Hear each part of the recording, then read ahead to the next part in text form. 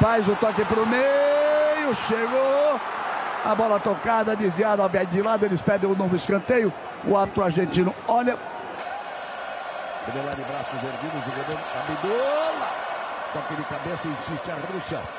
Repito, não vence um jogo desde que ganhou da Coreia do Sul em outubro. De cabeça agora para chegar. Olha o gol, olha o gol, olha o gol, olha o gol. Gol!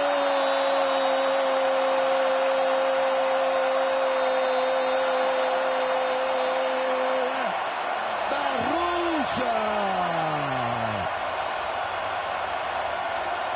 O primeiro gol da Copa do Mundo. Primeiro toca a bola tocada, o Gazinski vai subir lá pelo meio, veja só. Gazinski, número 8. Reclamaram a posição de impedimento, não participava da jogada. De cabeça subiu Gazinski. O cruzamento do Galavi.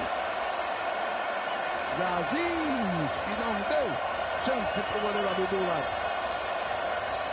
Um para a Rússia. Zero para a Arábia Saudita.